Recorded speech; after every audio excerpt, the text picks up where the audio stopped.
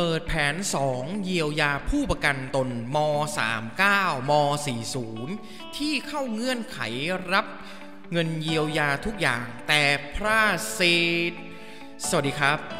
ท่านผู้ฟังนะครับ วันนี้นะครับเราจะมาฟังแผน 2 ในเรื่องของการเยียวยาผู้ประกันตนม 39 ม 40 นะครับ ที่เข้าเงื่อนไขทุกอย่างเลยแต่ไม่ได้พลาดสิทธิ์ก็มีคำถามเยอะมากๆนะครับว่าทำไมฉันสมัครแล้ว ฉันไม่ได้สิทธิ์นะฮะฉันพลาดสิทธิ์อะไรนะครับ วันนี้เดี๋ยวเราจะมาาพูดคุยถึงแผนนะครับของประกันสังคมว่าเขาจะมีแผนอะไรนะครับ แต่ก่อนที่เราจะไปฟังนะครับออย่าลืมกดไลค์กด Subscribe เอาไว้นะครับ เพื่อจะไม่ได้พลาดคลิปข่าวสารดีๆ ตรงนี้นะครับ เดี๋ยวเราจะได้รับเงินเยียวยาไปด้วยกันทั่วๆหน้านะครับ โอเคครับ เดี๋ยวเราไปฟังข้อมูลดีๆนะครับ มาตรการเยียวยานะครับผู้ประกันตนม 39ม40ทำไมไม่ได้สิทธิ์นะครับประกันสังคมเตรียมเปิดช่องทางนะครับในการทบทวนสิทธิ์ในวันที่ 15 กันยายนนี้นะครับทวนอีกครั้งหนึ่งนะครับเพื่อนๆเพื่อนๆฟังไม่ผิดนะครับ หลายๆ คนเข้ามาถามในช่องผมว่าเออสมัครไปแล้วทุกๆ อย่างไปแล้วทำไมไม่ได้นะครับ ชื่อก็ส่งไปแล้วนู่นนี่นั่นก็ส่งไปทุกอย่างแล้วนะครับ ไม่ว่าจะเป็นการผูกพร้อมเพย์หลาย ๆ อย่างนะครับ แต่ว่าก็ยังไม่ได้รับสิทธิ์นะครับ ก็วันนี้นะครับทางผมก็ได้นำข้อมูลตรงนี้นะครับ ก็ขอขอบคุณนะครับในส่วนของสวัสดิการทันข่าวด้วยนะครับ ที่มีข้อมูลมาให้กับเรา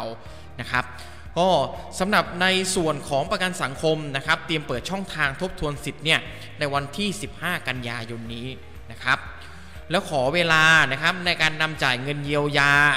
ผู้ที่ได้รับสิทธิ์ม 39 ม 40 ในกลุ่มแรกก่อนก็คือ 29 จังหวัดนะครับ ก็คือเริ่มตั้งแต่วันที่ 23 นะฮะถึงวันที่ 27 ให้แล้วเสร็จก่อนนะครับ ก็คือในส่วนของ 13 จังหวัดแรกที่สมัครเข้ามา ถึงวันที่ 31 กรกฎาคมนะฮะ แล้วก็ 16 จังหวัดบางส่วนนะฮะ ซึ่งจะได้เงินเยียวยารอบแรกไปก่อน ส่วน 19 จังหวัดที่ยังรับสมัครจนถึงวันที่ 24 สิงหาคมนี้นะครับ จะต้องนำมาประมวลผล หาจำนวนผู้ได้รับสิทธิเยียวยานำเสนอคอรมออนุมัติเงิน เพื่อจ่ายในเดือนต่อไปนะครับ อันนี้เขาจะจ่ายในเดือนสิงหาคมในส่วนของผู้สมัครนะครับ ถึงวันที่ 31 นะครับ กรกฎาคมนะฮะแล้วก็มีบางส่วนถึงวันที่ 3 สิงหาคมนะครับส่วน 19 จังหวัดที่ได้รับสมัครนะครับ ที่ยังรับสมัครอยู่ถึงวันที่ 24 นี้นะครับ จะต้องนำมาประมวลผลหาจำนวนผู้ได้รับสิทธิเยียวยานะครับ แล้วก็นำเสนอคอรมอเพื่ออนุมัติเงิน แล้วก็จ่ายในเดือนถัดไปนะครับอันนี้ผมนำข่าวมาแจ้งเพื่อนๆนะครับ เพื่อให้หลายๆ คนได้สบายใจขึ้นว่า มันจะมีการเปิดในวันที่ 15 กันยายนนี้นะครับเนาะก็ข่าวดีๆแบบนี้ก็อย่าลืมนะครับ กดไลค์กด Subscribe เป็นกำลังใจให้กับช่องด้วยนะครับ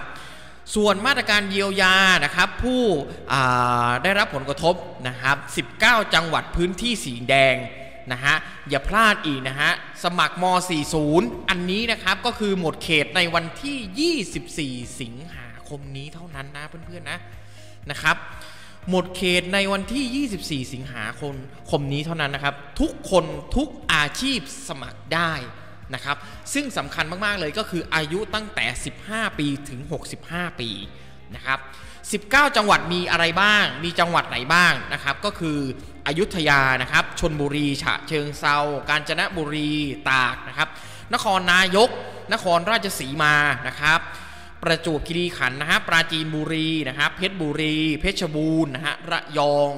ราชบุรีนะครับลบบุรี สิงห์บุรี สมุทรสงครามนะฮะสระบุรี สุพรรณบุรี และจังหวัดอ่างทองนะครับนี่คือ 19 จังหวัดครับที่เป็นพื้นที่สีแดงที่สามารถที่จะสมัครและรับเงินเยียวยาได้นะครับแต่จะบอกก่อนว่าหมดเขตในวันที่ 24 สิงหาคมนี้เท่านั้นนะฮะ ฝากเพื่อนๆด้วยนะครับ อันนี้เนาะก็หลายๆ คนอาจจะฟังแล้วนะครับ อาจจะไปบอกต่อนะฮะสำหรับเพื่อนๆนะครับที่ยังอยากจะสมัครแล้วก็รับเงินเยียวยาจากรัฐบาล 5,000 บาทนะครับผมเป็นส่วนหนึ่งเป็นกำลังใจส่วนหนึ่งนะครับ ที่อยากจะให้เพื่อนๆนะครับ ที่ได้รับผลกระทบเนี่ยได้รับเงินเยียวยา แล้วก็อยากจะให้ช่องนี้เป็นหนึ่งช่องทางในการสื่อสารนะครับ ข่าวสาร ไม่ว่าจะเป็นประโยชน์ให้กับประชาชนทุกๆ คนนะครับ ก็ขอบคุณทุกๆ คนมากๆนะครับ ที่เข้ามาฟังข่าวสารกับทางช่องนะครับ อย่าลืมกดไลค์กด Subscribe ให้เป็นกำลังใจให้กับช่องและออย่าลืมนะครับอยากจะทราบข่าวสารอะไรนะครับ อยากจะให้หาข่าวเรื่องอะไรมานะครับ ก็อย่าลืมคอมเมนต์ด้านล่าง นะครับเพื่อเป็นกำลังใจให้กับช่องด้วยนะครับ ก็ขอขอบคุณทุกคนมากนะครับที่เข้ามารับชมรับฟังคลิปวิดีโอนี้นะครับ ก็ก่อนจากกันวันนี้ก็ขอขอบคุณมากๆนะครับ เจอกันคลิปหน้าครับ สวัสดีครับ